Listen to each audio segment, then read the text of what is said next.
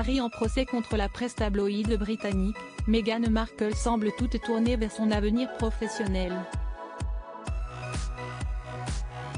Exilé en Californie et ne touchant plus d'argent de la famille royale britannique, le couple a besoin de financer son riche train de vie. Et la duchesse de Sussex semble bien positionnée pour participer activement aux finances du foyer.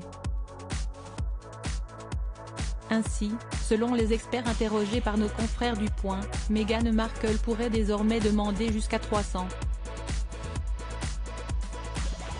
000 dollars, soit environ 278 000 euros, par épisode de podcast. Mais les podcasts de Meghan Markle ne sont pas la seule source de revenus prometteuse dont elle jouit. L'épouse du prince Harry serait sur le point de relancer son blog, The Tigre. Ce site de lifestyle, nommé en référence à son vin rouge italien préféré, est devenu un symbole de la singularité de la duchesse.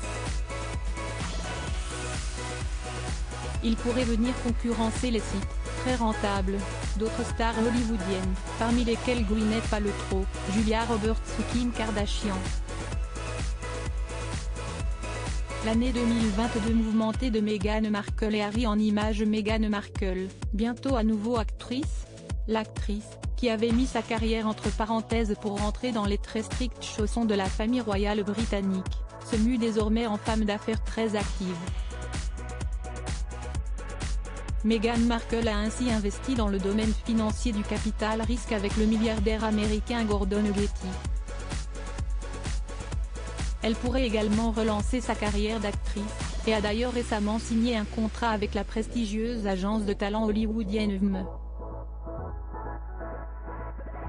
Preuve de l'aura toujours croissante de Meghan Markle, de grandes maisons de couture font des pieds et des mains pour qu'elle devienne leur nouvelle ambassadrice.